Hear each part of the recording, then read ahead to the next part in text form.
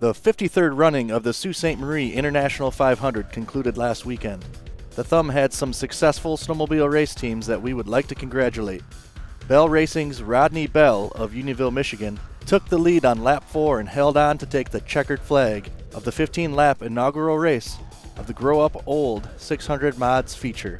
Bell Racing is sponsored by Woody's, Dan Piorkowski's Race Sleds, Schultz Racing, and Weiss Equipment of Frankenmuth. The main event of the Soo I 500, which is one of the world's longest endurance snowmobile races, takes place on a one mile ice oval track. This year, the 500 mile race was won by Nelson Racing out of Wisconsin. In second place, less than five seconds behind, was WV Racing from Unionville.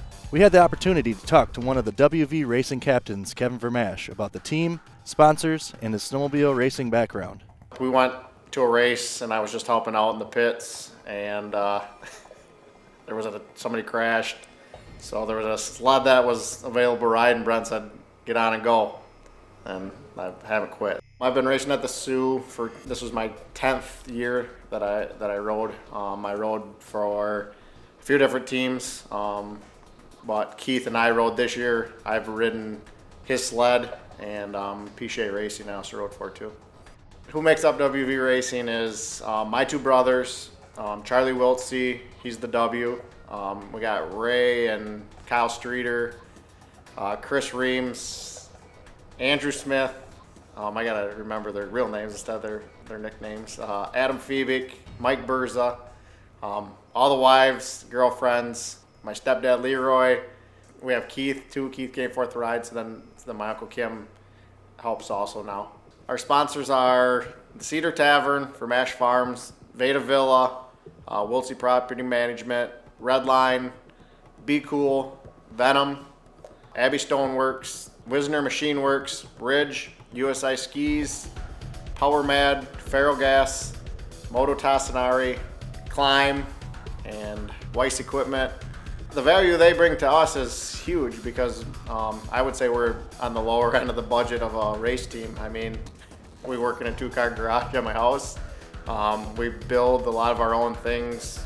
You know, we have some guys that can do machine works, and um, so I mean, it pays for you know if it's uh, anything. I mean, it, that we don't have to pay for. It, I mean, it's huge for us. Then I mean, that's something we can, you know, maybe some extra money we can stick into our sled if we don't have to pay for propane or um, a, a ski or get discounts on clothing, something like that. So every sponsor, big or small, makes a huge difference for us.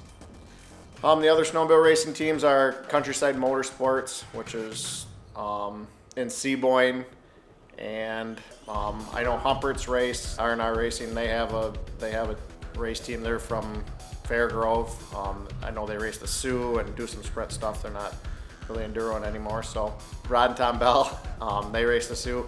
Oh, work we do is um, changing jets. You know, that's depending on how what the temperature is. Um, adding studs, pulling studs, um, picking track up to make to make it faster, slower. Carbides, you know, maybe change a carbide here or there, um, just to get make sure handling's correct, and um, that's, I mean, it's pretty basic stuff, but it's all important. I rate my pit crew as the best. I mean, uh, you have to, right? Because they're the ones that um, you trust. I, I never went out on the track and ever felt uncomfortable or you know not worried about anything working. And i know if something needs to get adjusted during the race it, it'll happen and it'll happen at a timely manner. Um, i think they do a great job. Um, upcoming races are kinross this weekend and then our last race is lincoln um, the following weekend and then that wraps up our myra season. Congratulations to all the local snowmobile racing teams. If you want to watch their upcoming races, check out the Myra website at myraracing.com and find their schedule of events. The races are also available to stream on the FloRacing Network.